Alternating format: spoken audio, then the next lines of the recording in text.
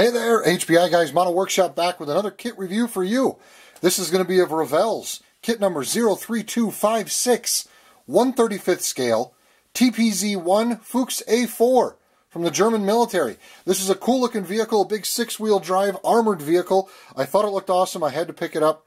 It's uh, about uh, 19.7 centimeters long and 135th scale, has 233 parts. Let's take a look at all the cool stuff in the kit. First off is the manual. Now on the side of the manual, before I forget, this really thin piece of wire is there. That allows you to do some of your antennas and other small attachment points on the vehicle. So don't forget that is there. I didn't want to take it off because it's taped so nicely I didn't want to bend it. This Revell Germany manual is absolutely gorgeous. I love these new manuals they're coming out with. They look, they're, they're multiple colors. The drawings are contrasting to the background, so they stand out really easy. Really nice looking. There's actually a booklet. Only 233 parts, but it's got this kind of cool booklet going on. You can see how everything's on there. Everything's called out. Lots of little dits and doodads. And then we've got a nice full color. And that goes all the way to the back in 41 steps. So that's a nice manual on there. Let's take a look at everything else that's in the kit. First up will be the decals, the decals.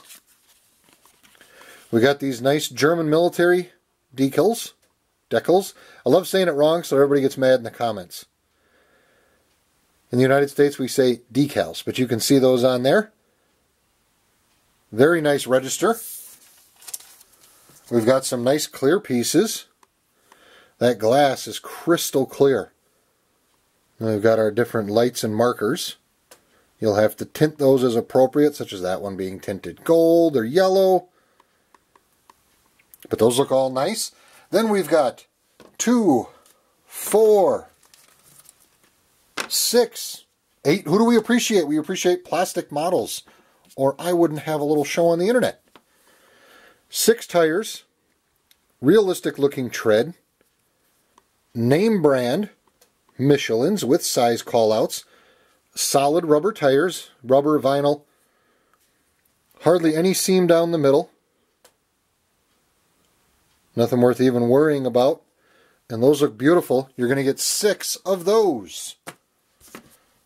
Going on to the large plastic pieces, we've got three gray parch trees, which is nice. They're already a primer color. So it'll be easily accept primer, chipping, weathering, and all that easily done.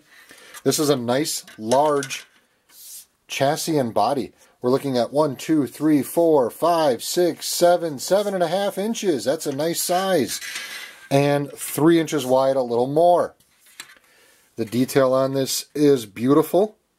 All those vents and panel lines, very nice. Some washing, some weathering is really going to bring those out. This is a very nice kit.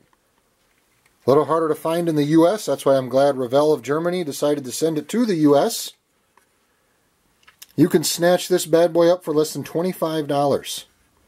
25 bucks for a beautiful 135th scale military kit. That is just great. And then there's under the chassis.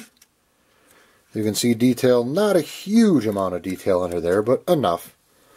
Most people don't turn your kits over. If someone starts grabbing your kits and flipping them over, smack them in the head. That looks very nice. Nice big tree there. Then we've got two other trees we'll take a look at, all full of little stuff. Ooh, tow cables and hatches and bars and suspension parts. And look at that cool looking stowage. Look at the detail on that. We got cabling, springs, wheels, levers. Look at all the super fine casting detail on that.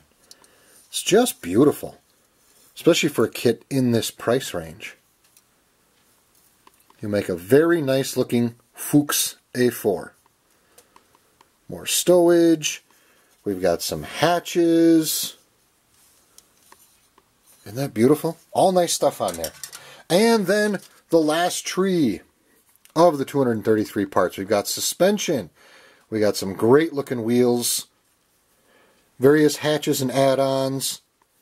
Transmission and driveline parts.